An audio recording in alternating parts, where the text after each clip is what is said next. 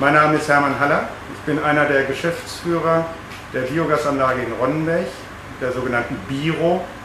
Die Biogasanlage in Ronnenberg ist einer der ersten Anlagen, die das produzierte Biogas direkt aufbereiten lässt und in das Netz der Stadtwerke Hannover einspeist.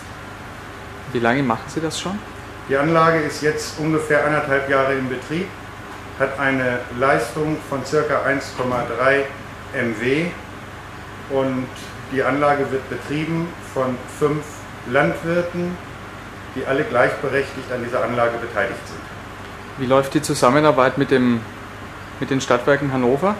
Mit den Stadtwerken Hannover ist das ein wunderbares Zusammenarbeiten, wobei wir beide zuerst lernen mussten, miteinander umzugehen. Das hat damit zu tun, dass wir fünf Landwirte von vornherein entscheidungsfreudiger waren und vor allem wesentlich kürzere Entscheidungswege hatten. Bei den Stadtwerken gibt es viele Gremien, die durchlaufen werden müssen und wir wurden in den Verhandlungen von den Stadtwerken häufig für unsere schnelle Entscheidungsmöglichkeit beneidet. Profitieren die Stadtwerke Hannover davon, von dieser Kooperation mit Ihnen? Die Stadtwerke haben einmal den Vorteil, dass sie dieses Biogas als nachwachsenden Rohstoff verbrauchen oder einspeisen können.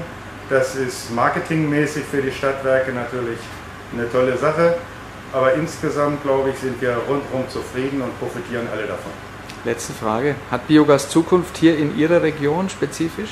In unserer Region wird Biogas, vor allem Biogas aus nachwachsenden Pflanzen, nicht aus Güllebereichen, sondern eben als äh, nachwachsende Pflanzen auf jeden Fall Zukunft haben.